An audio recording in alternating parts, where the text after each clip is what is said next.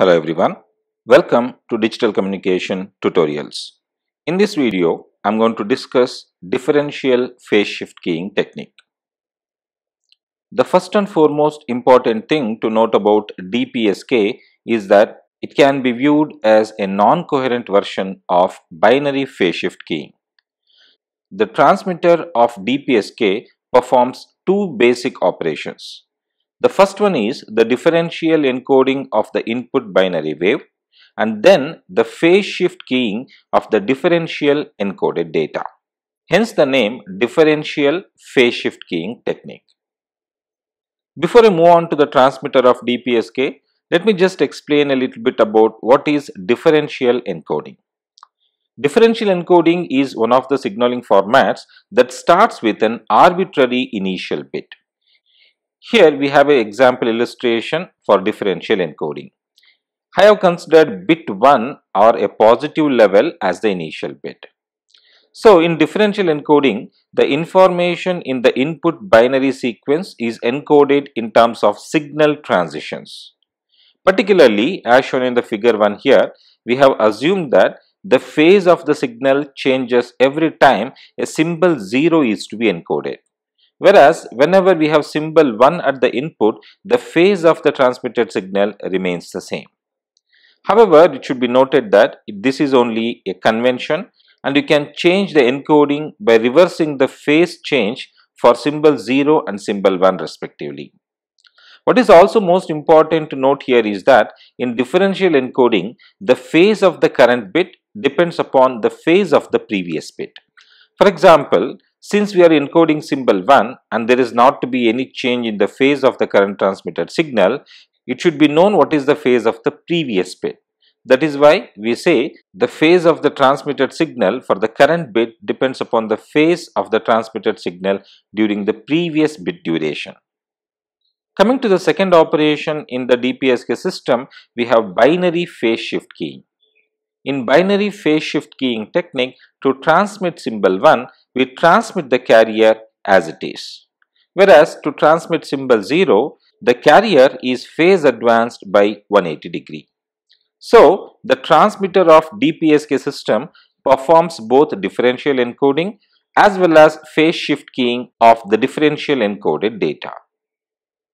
Since in differential encoding, the phase of the current bit depends on the phase of the previous bit as well, the DPSK system will have its transmitted signals that will span over 2 bit intervals.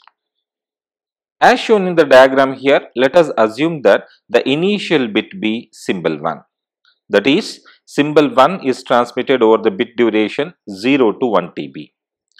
The DPSK signals can be generated depending upon what is the transmitted bit over the next interval which is between TB to 2 TB. If symbol 1 appears over the second bit interval that is TB to 2 TB, then the phase of the carrier signal remains unchanged. On the other hand, if symbol 0 appears over the second bit interval that is between TB to 2 TB, then the phase of the carrier signal is phase advanced by 180 degree. Suppose the transmitted DPSK signal over the bit interval 0 to TB be denoted by square root of EB by 2 TB cos 2 pi FCT.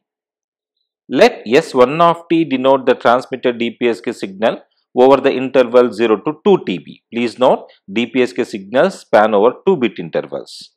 Now let us assume this is for the case when we have binary symbol 1 appearing at the second bit interval that is between TB to 2 TB. That is S1 of t has this signal between 0 to TB and symbol 1 appearing over the interval TB to 2 TB. Now, in a DPSK system, the transmission of 1 leaves the carrier phase unchanged. Therefore, S1 of t can be given by the equation 1 here. You can see S1 of t is equals to square root of EB by 2 TB cos 2 pi FCT. This is over the interval 0 to TB as we have assumed just here. And since symbol 1 is appearing over the second bit interval that is between TB to 2 TB and the phase of the carrier remains as it is, we have the same signal appearing over the second bit interval as well. So, S1 of t over TB to 2 TB is the same as between 0 to TB. Moving on, let S2 of t denote the transmitted DPSK signal over the interval 0 to 2 TB. Let us assume this is for the case when we have a binary symbol 0 at the transmitter input over the interval TB to 2 TB. This is exactly the opposite as that of S1 of t. In S1 of t we had symbol 1 appearing over the second bit interval whereas S2 of t we have symbol 0 appearing over second bit interval. The transmission of symbol 0 as we know phase advances the carrier by 180 degree. So S2 of t can be given as square root of EB by 2TB into cos 2 pi FCT over the first bit interval and over the second bit interval since it is 0 we have to phase advance the carrier by 180 degree therefore over the interval TB to 2TB it will be square root of EB by 2TB cos 2 pi FCT plus pi. By analyzing equations 1 and 2 carefully, we will note that the signals S1 of t and S2 of t are orthogonal over the interval 0 to 2 TB. In my previous video, I had discussed about non-coherent orthogonal modulation technique.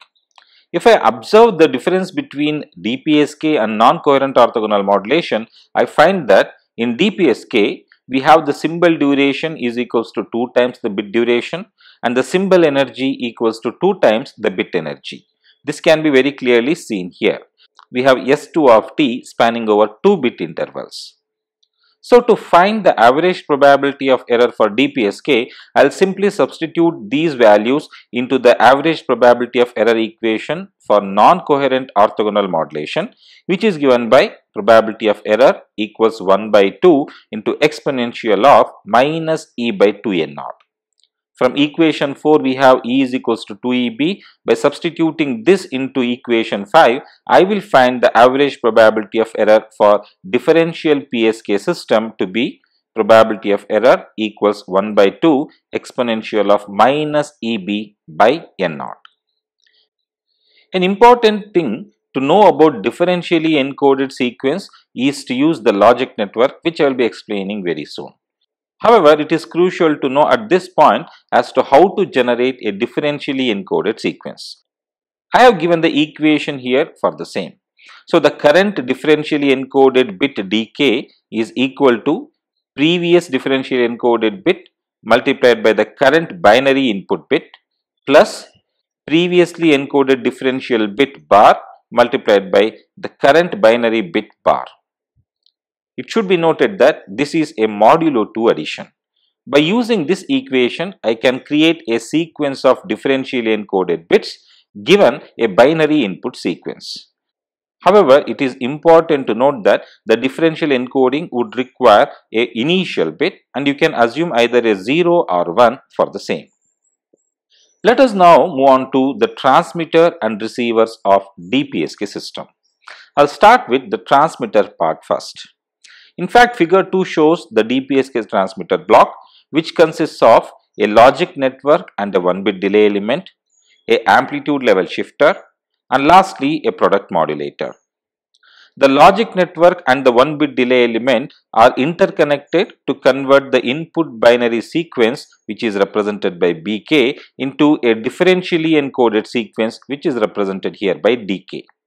This sequence is then amplitude level shifted and fed to a product modulator.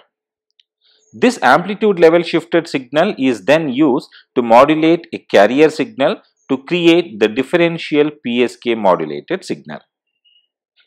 Let us now move on to the receiver as shown in figure 3 here. At the receiver input, we have the noisy received DPSK signal. This noisy DPSK signal is passed through a bandpass filter which is centered at the same carrier frequency Fc as that of the carrier at the transmitter. This operation is performed to limit the noise power. The filter output and a 1-bit delayed version of the same are then applied to a correlator. Please note we have a multiplier followed by an integrator which is a correlator. It is also called as a product integrator. The resulting correlator output will be proportional to the cosine of the difference between the two carrier signal phase angles that are input to the correlator. This correlator output is then compared with a threshold of 0 volts using a decision device. If the correlator output is positive, then the phase difference between the waveforms received during the interval 0 to TB lies inside the range of minus pi by 2 to plus pi by 2 and the receiver will decide in favor of symbol 1. If on the other hand the correlator output is negative, then that means that the phase difference between the waveforms received during the interval 0 to 2 TB lies outside the range of minus pi by 2 to plus pi by 2 and the receiver will therefore decide in favor of symbol 0. So, it is important to identify whether the correlator output is positive or negative. If it is positive, then it simply means the phase difference between the carriers that are given as input to the correlator lies inside the range of minus pi by 2 to plus pi by 2. On the other hand, if the correlator output is negative, then the phase difference between the inputs to the correlator will lie outside the range minus pi by 2 to plus pi by 2. And depending upon the value of L, we will choose symbol 1 as the output if L is greater than 0. Otherwise, we will choose symbol 0 if L is less than 0.